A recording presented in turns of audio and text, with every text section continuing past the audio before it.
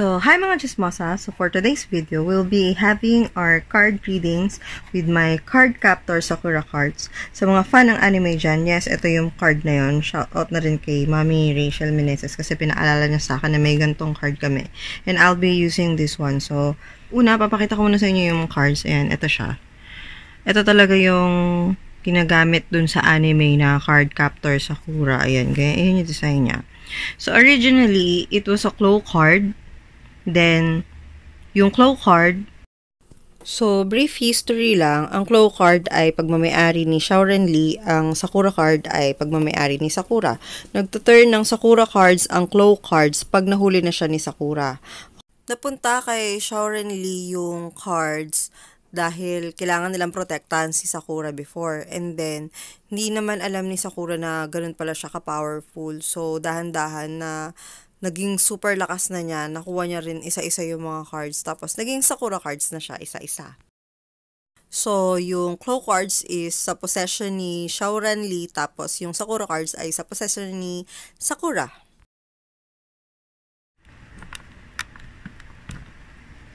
So, ayun, uh, ang mangyayari is, pag nakuha niya na yung cards, magta-turn yun ng sarili niyang Sakura card na ibig sabihin, pag mamayari niya na yung card na yon So, ito yung mga yon Ayan.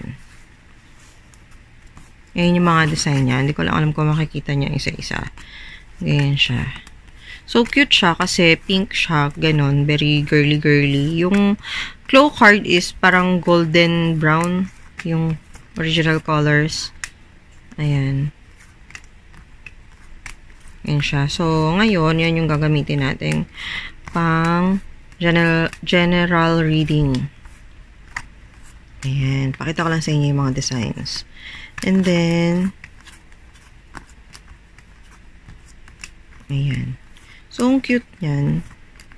So, kung akala nyo, pang ano lang sila, pang display or what, uh, nagagamit ko siya talaga pang divination or pang reading, ganyan. So, this time, gamitin na natin siya pang read. Shuffle muna natin yung cards. Actually, mahaba to. Ayan, ganyan siya kahaba. Ganyan siya kahaba. Ganyan siya kahaba. So, nahihirapan lang ako dun sa camera kasi nakahang siya. So, ayan shuffle natin. Tapos, I want you guys to pick to pick cards na feeling nyo eh, bet nyo talaga. Papantayin ko lang para medyo ano. So, dahil magkakahawig naman sila, lagyan natin sila ng numberings. Yung magiging palatandaan sa cards nyo. So, this will be, pinost ko na to as pictures kanina, tapos, ngayon ko lang ginawa yung video. So, sana, masundan nyo yung vlog ko. So, this will be the 5 peso coin or number 5. This will be the 1 peso coin or number 1. And this will be the 25 cents or number 25 card. So, di ko rin alam kung ano yung nasa kabila. So, let's see. If ever na yung ibang numbers yung mapili nyo, mag-jump na lang kayo dun sa mga susunod na, na meaning ng cards para di kayo maboard if ever. So, for card number 1, uh, ah, ano natin yung mga bagay na sasabihin ng cards for, for your August reading. Um, actually, hindi ko madalas ginagamit tong Sakura cards, pero uh, I'll try to make the best out of it, okay?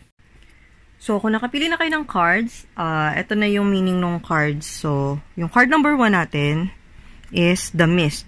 So, ayan, mapapansin nyo meron ng Sakura name sa baba. Ibig sabihin, from Claw card, nag-transfer na siya ng Sakura card. And, yung meaning ng The Mist, ibig, uh, pag-aralan mo muna yung sitwasyon bago ka gumawa ng desisyon para hindi ka magsisi sa uli pag-isipan mong mabuti kasi kung magdedesisyon ka ng pabigla-bigla, uh, pwede mong ikapahamak yon or pagsisihan. Kalma lang, ganun. Mag-isip ka ng maayos. At kahit maraming balakid sa paligid mo or yung feeling mo, yung environment mo ay hindi ganun kaganda, soon, magiging maayos din yung weather sa buhay mo. Yun ibig sabihin ng The Mist. Okay? Then, sa second card, meron tayong The Freeze. Ang ibig sabihin ng The Freeze, kailangan mo munang huminto or dumistansya sa mga tao or gawain na nakasanayan mo na. Or dapat makiramdam ka sa mga paligid mo.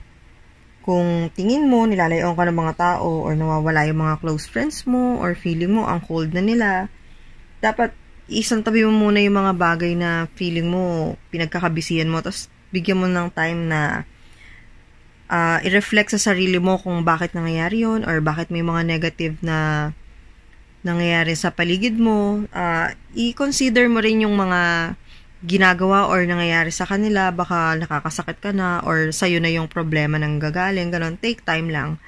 Uh, wag mong pabayaan na masira yung relasyon mo sa iba. Okay? So, sa third card, bilisan lang natin kasi nilalangaw na ako. You know, pucha, oh.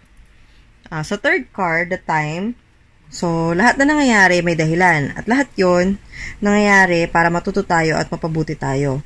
At mas maraming experience or pinagdaanan, mas marami tayong natutunan at matututunan. And dapat, natuto tayo for the better. Hindi yung uulit-ulitin mo lang tapos, magkakamali ka lang ulit. So, sayang lang yung time. Gets? Lahat ng pangyayari may dahilan. Uh, mas magiging okay ka kung pipiliin mo yung mga bagay na alam mo na tama at iiwasan mo na yung pagkakamali ulit kasi naranasan mo na, nasaktan ka na, nakasakit ka na before. So, mas maganda kung pipiliin mo ng mas maging better person sa mga susunod na desisyon mo sa buhay. Ganun siya. Yun yung time card natin.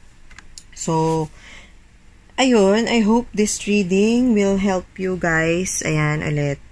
Uh, thank you for supporting Witch Cauldron Charms and salamat sa mga nagpapadala ng mga feedbacks. And sana wag kayo magsawang magbigay pa rin ng patuloy na feedbacks. And see you soon guys. And sana maging maayos kayong lahat.